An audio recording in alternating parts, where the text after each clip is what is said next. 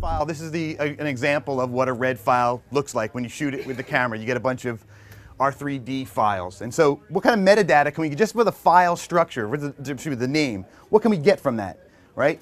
The A is uh, the camera ID. And frankly, I think this is really the only thing that you can, on a camera, can change. You can decide if you want, you, how you uh, name your camera. So you have two cameras shooting at the same time.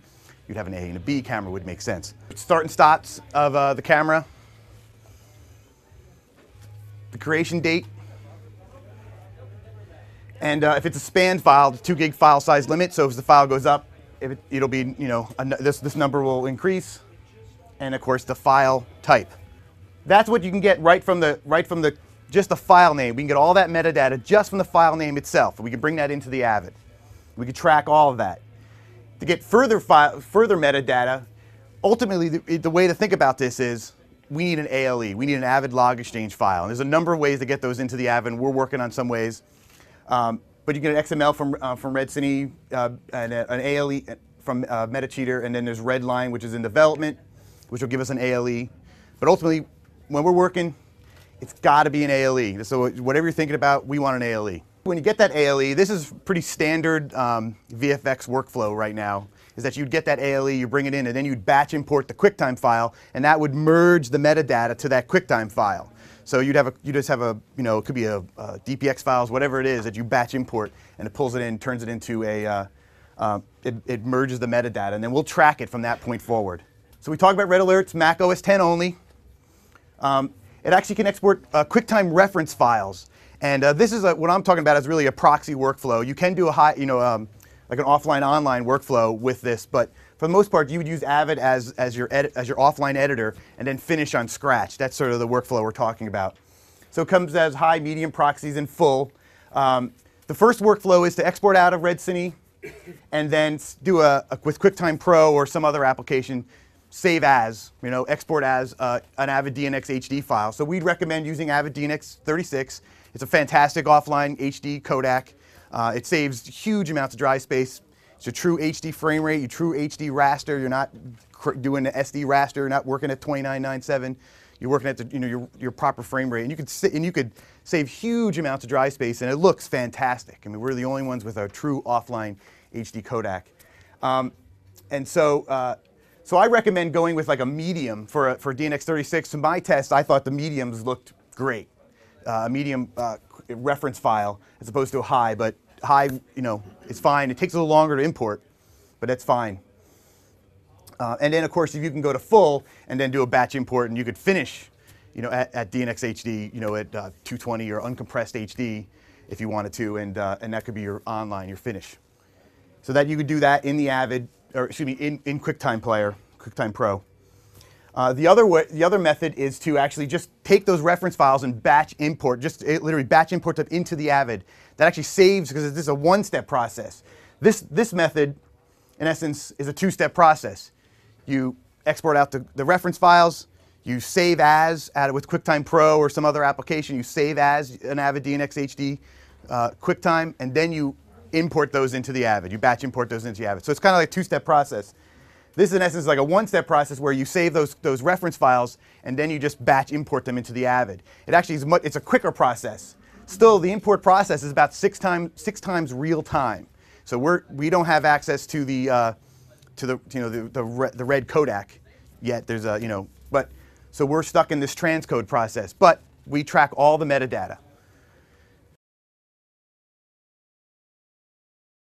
Let's talk about MetaCheater. This is a fantastic piece of software uh, by Jabez.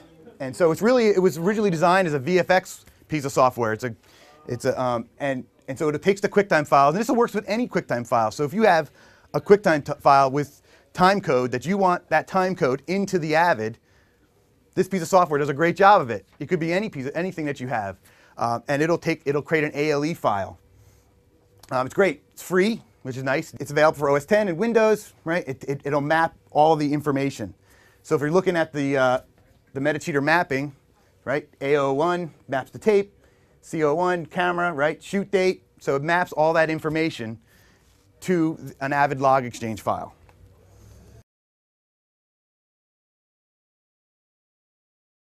So here's red alert. And the workflow would be you have red alert and you would go File, open R3D, and I open a file, and this is a great little documentary I'm working on. It's the side of a building in Manhattan documentary, and uh, and so it's uh, so there's my one file. I can make some color adjustments, and uh, again, you don't want me doing a, a, uh, a simulate demo. I have options here. I'm going to go medium quick times, and there's a reference file. It's done, right? Open. So you have to you have to process each file like this. Now what I'm going to do is I'm going to use MetaCheater, and I'm going to select those QuickTime files. Select the QuickTime files. Here they are. And I, I open the files in. All my metadata information is going to be mapped to an Avid Log Exchange file. So you can see I got my tape number, my frames, all this information is here, file name, and we have the, the options here. Now this was designed as a, uh, a VFX, so it defaults to some VFX settings. I'm going to I'm to change it to uh, so DPX. You know, we always say we'll never go back to film, but why not start tracking it right now? So I'm going to add the DPX information. So you see, if I hit process, this will change. So the first, as, as you export out um, DPX files, they come they start at a zero zero. And so we'll track that. Even if you never use it, why not, right? I mean, it only makes sense to have it here. And so I'll save the list.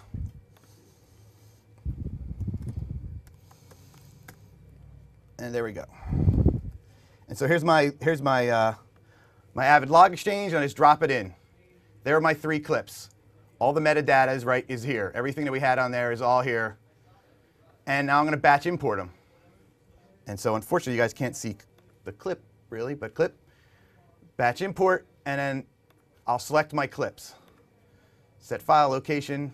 There we go. Set file location. And in the last one. And so you'd have to do this for all your files. And I click import, and you'll see it's a uh, DNX HD is a multi-processor codec, so we're pinning the processors. The faster your um, your computer is, the faster this process is going to happen. It's transcoding now. It's transcoding, exactly. That's exactly what we're doing right now. We're turning into Avid DNX HD 36 as right now on a MacBook Pro. It's like a the first Core 2 Duo